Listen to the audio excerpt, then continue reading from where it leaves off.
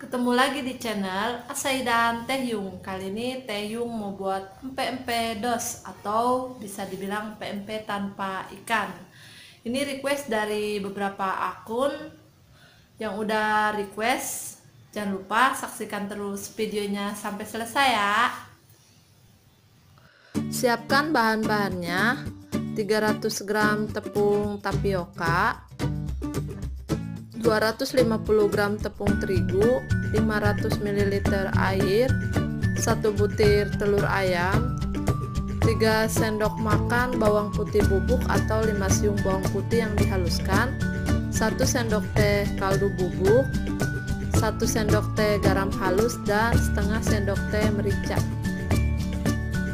Pertama-tama campur menjadi satu wadah tepung terigu dengan campuran bumbunya ada garam, merica, bawang putih, dan kaldu bubuk. Aduk sampai rata. Kemudian setelah itu sisihkan. Sekarang masak 500 ml air sampai mendidih. Ini harus benar-benar mendidih Kalau sudah mendidih, matikan api, kemudian langsung angkat dan langsung tuangkan ke terigu yang sudah dicampur bumbu tadi. Tuangkan semuanya sedikit-sedikit dulu. Aduk rata sampai mengental seperti bubur. Ini diaduk-aduk terus pakai sendok kayu, soalnya panas.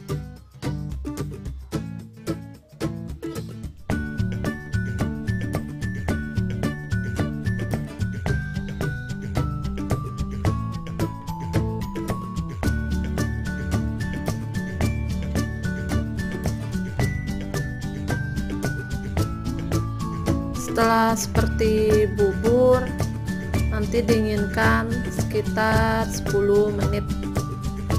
Ini biar uap panasnya hilang.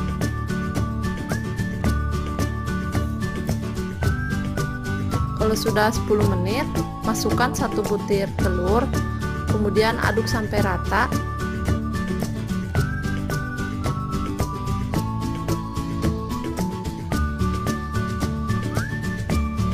dipakai tambahan telur biar lebih enak pempeknya setelah itu kita uleni dengan dikasih tepung kanji atau tapioka.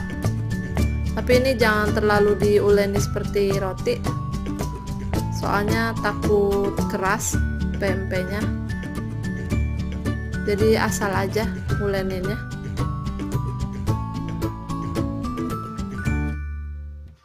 sampai nggak terlalu lengket di tangan. Jadi semuanya dituangin tepung kanjinya. Kalau sudah kita siapkan bahan isinya. Ada 3 butir telur dan setengah sendok teh garam halus. Kita campur menjadi satu telur dengan garam. Kalau suka boleh ditambahkan dengan kaldu bubuk kita kocok telur sampai rata. Kalau sudah dikocok sisihkan. Sekarang masak air di dalam panci. Ini masaknya lumayan banyak airnya. Jangan lupa ditambahkan 3 sendok makan minyak biar nanti pempeknya tidak saling menempel saat direbus masak air sampai mendidih. Sudah mendidih sekarang kita cetak pempeknya. Ambil sedikit adonan pempek kemudian bentuk bulat seperti ini terus dipipihkan buat lubang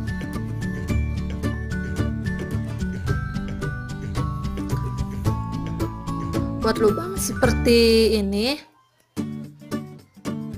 Ini buat tempat isiannya. Diisi dengan telur kocok tadi. Kemudian direkatkan biar rapi. Jangan sampai bocor. Bisa juga dibentuk seperti ini. Mirip pastel. Untuk ukuran pempek boleh sesuai selera kalau terlalu besar boleh lebih kecil lagi. Masukkan ke air yang sudah mendidih. Kita cetak lagi pempeknya. Kalau pempeknya terasa lengket tangan boleh dibaluri terlebih dahulu dengan tepung. Boleh tepung terigu atau tepung kanji. Jangan lupa ini isi dengan telur. Jadi mirip pempek kapal selam lupa direkatkan kembali. Biar rapi. Seperti ini juga boleh. Gak mesti harus mirip pastel.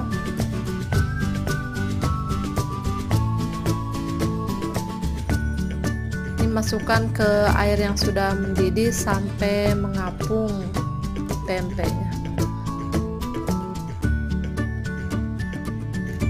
jadi dimasak sampai mengapung. Kalau sudah mengapung seperti ini diamkan selama 15 menit biar telur yang di dalamnya matang kalau sudah 15 menit baru diangkat dan tiriskan. Jangan lupa dimatikan kompornya. Sekarang angkat semua pempeknya. Jadi jangan dulu diangkat sebelum 15 menit setelah mengapung ya biar matang bagian dalamnya tiriskan kemudian panaskan minyak goreng secukupnya. Setelah itu kasih satu sendok makan tepung kanji atau tapioka. Ini tujuannya biar saat pempek digoreng jadi enggak nyiprat minyaknya. Jadi enggak nyiprat ke mana-mana.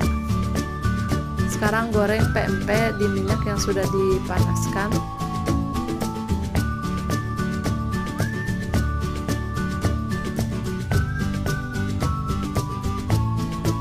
Goreng sampai matang dan kulit luar itu garing.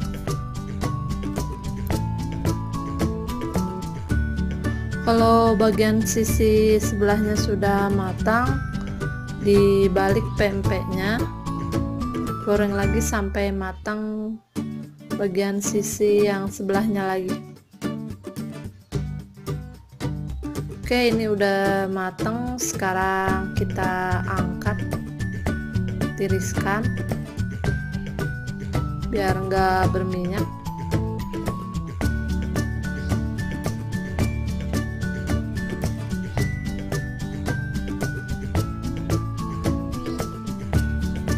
goreng lagi pempek yang belum matang.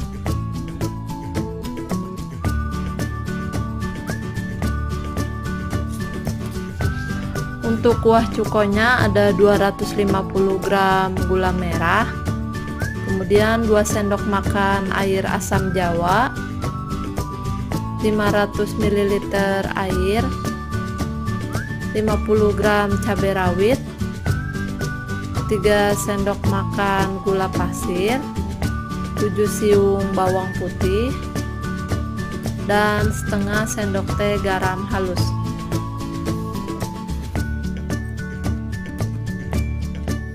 Sekarang untuk bumbu-bumbunya kita haluskan sampai halus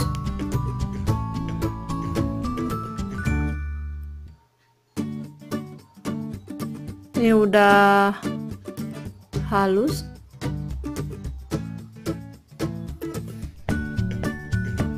Sekarang campurkan semua bahan kuah cukonya mulai dari bumbu yang dihaluskan kemudian gula merah asam jawa dan air.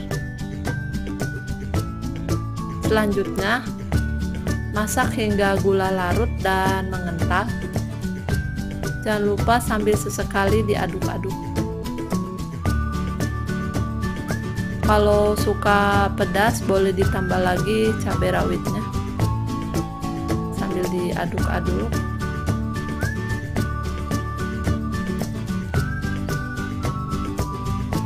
Kalau sudah matang tinggal dimatikan apinya.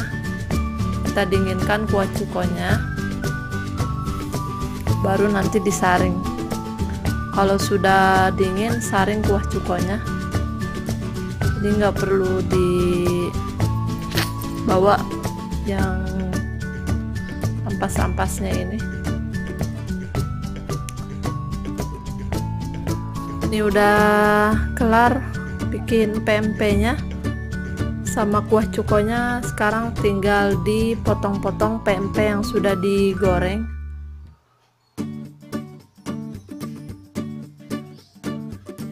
bagian dalamnya ada telur yang tadi dikocok bahan isinya pakai telur. Kita potong lagi yang satunya lagi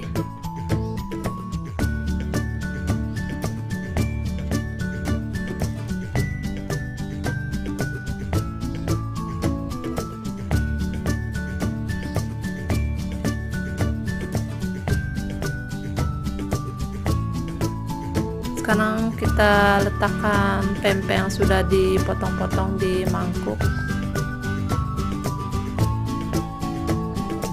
Jangan lupa kasih irisan timun.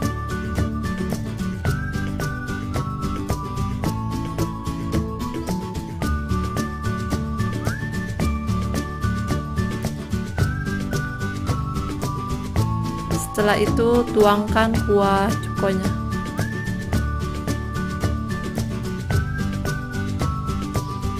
tinggal disiram-siramkan ke pempek yang sudah dipotong-potong. Ini udah jadi pempek tanpa ikannya.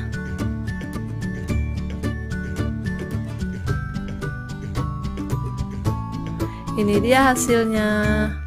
Jangan lupa cobain juga di rumah ya. Oke selamat mencoba. Semoga berhasil